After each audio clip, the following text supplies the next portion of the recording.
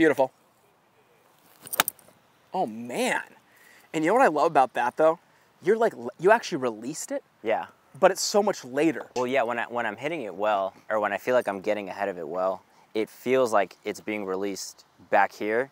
And when I'm playing bad, it feels like it's being like dumped Back here. back here. And I, that's Yeah. that's so big for our viewer guys. You think about it. I, I always come back to this. If I have my hands and the elbow in front of me, I can open up, open up, and when I get to my deepest point, that's when it kicks, and that's out here. And I started just visualizing out there, and I remember just swinging there, and it takes me back to when I was a kid. One of my favorite drills. Check this one out. This was a drill that my coach had me do back in the day, right here. Look at normal ball would be right here for a nine iron. He'd have me hit that ball right there. Jeez. Ready for this? And he'd tell me, dude, I want you to catch ball first and try to hit it low. And the only way I'm doing that, and, and man, if Kevin were to slow that one down, which I know you have the ability to do, that's me like this and releasing out there. Yeah. And then what, what, what would I do? I'd move that ball back here with the mindset of it being out there. And just that mindset, you know, there's that sound we're all looking for, you know? Yeah. Just Okay. compressed, just easy. Yeah. Yeah, it's, it's money. And, here, and, here, and here's what I want you to do a little, a little even better. I want to flight some of these even lower. One thing I want to do, if I face you guys here, I have that imaginary wall set up right here, okay, in my mind.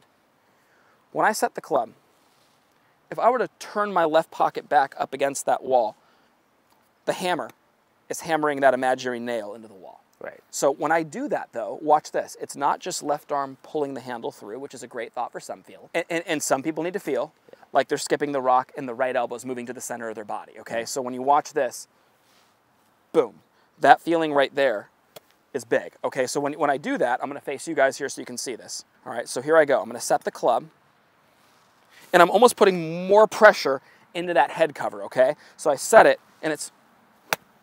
You see that right there? Yeah. and look at how my hands extend out away from me right there. The club face is very stable. I want to see you do that. And you hear that sound too? Yeah. But the way that that arm works, right? I always refer to this as skipping the rock. Your elbow goes in front, the club will lag, and then it releases later, okay? And it releases with your body's rotation. So when my left hip gets back to my deepest point, and here let's let's let's, let's phrase that. When my left hip gets back to the deepest point there, that's when the club kicks, and that's where you get some serious speed and compression. So it's set, okay, and that's where you can see my left hip went back at the same time my hands go through. I call it hip and grip. Yeah. So the hip, lead hip, and the grip, boom, into the wall, and there's the release. Okay, so here we go. But I don't mind you stopping, setting the club, making sure this is good.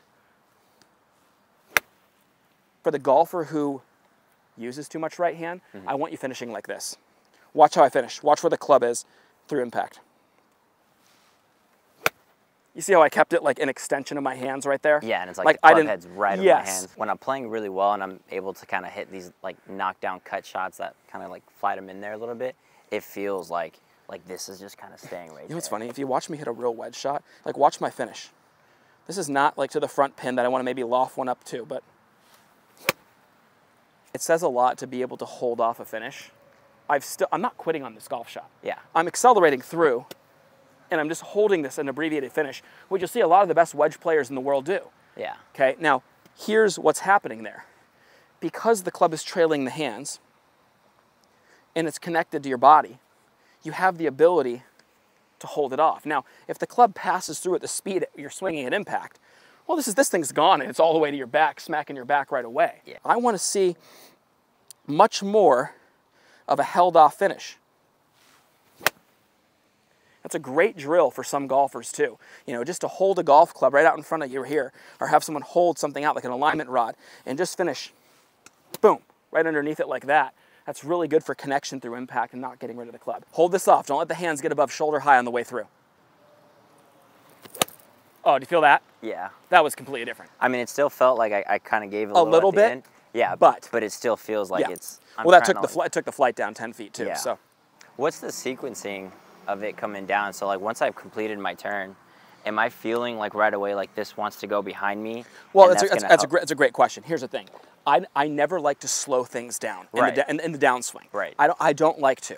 I like to patient going back. I like the bow, and arrow analogy. You Yeah. Mm-hmm. know, slow, let it build, Sungjae Im, Hideki to the top. Yeah. All that's great. But in the downswing, turn and burn. Like, Yeah. I'm letting this go, but I'm also remembering inside horse, Yeah. outside horse.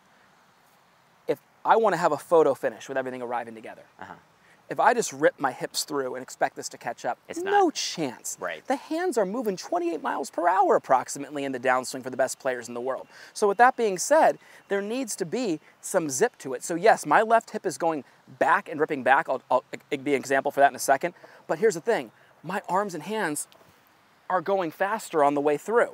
So in order to do this, you know, I'm not slowing my hips down, dropping my hands, letting it all catch up. No, I'm just getting my arms and hands down with some speed as I rotate. Yeah. And you know, that came off perfect right there. And that was really just me thinking, okay, left hip deep and out of the way, but I'm just making sure my arms stay in front of that motion. Right. Okay? So it's almost like if if my lower body gets working too well and my hands don't get there fast enough, I'm just Yes. gonna kind of blast everything Absolutely. right. So I got to speed up my hands. Gotta speed up your hands. Easy fix.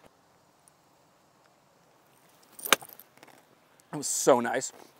It drives me crazy when I see somebody come and you know everybody always sees this, and they go, "I need I need forward shaft lean." I go, "Yes, but do you understand? With your current swing, that's what you're saving grace to hitting it somewhat on Oh, the map, yeah, right? yeah. Because here's the thing: if that golfer spends its time going this way, and you have forward shaft lean, four right, Yeah. see ya. I had a guy out here the other day, an older gentleman who had you know harder time kind of rotating and stuff. And, Yeah. And then and, and he's trying to work on his forward shaft and he goes, I just keep shanking everything. I go, Yeah. John, I said, here's the good news for you, bud. You got forward shaft lean all day, Yeah. but but without rotation, what's going to move that club around this way to get the club face square to the target? I love this right here. Like watch how I do this, guys, in sequence. Ready? I set the club and I create the angle. I get the handle over the golf ball to where, okay, at this point, I couldn't release it hard enough to where I'd actually lose that club. Now watch. I just rotate to hit that ball down the line.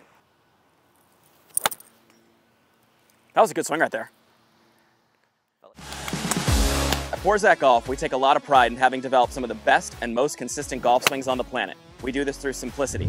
Our Full Swing Masterclass will take you on a step-by-step, easy to understand process on how to get your golf swing better than ever. Join the many before you who've utilized our Full Swing Masterclass to take their games to the next level and beyond.